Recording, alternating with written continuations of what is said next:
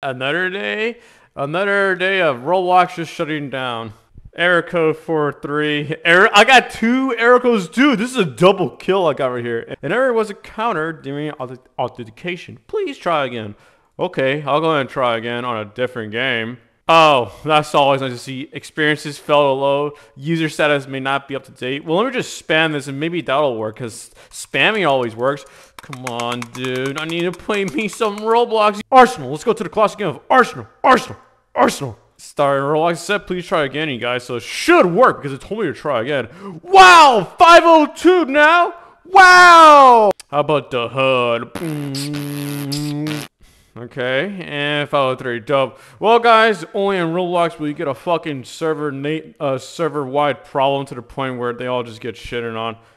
Cool, man! An error occurred trying to launch the experience. Please just try again later. Yeah, this is like a common Roblox L where their servers just keep going down or shit. well, that sucks. Anyways, I mostly made this video just purely because I know it would get views. Thanks.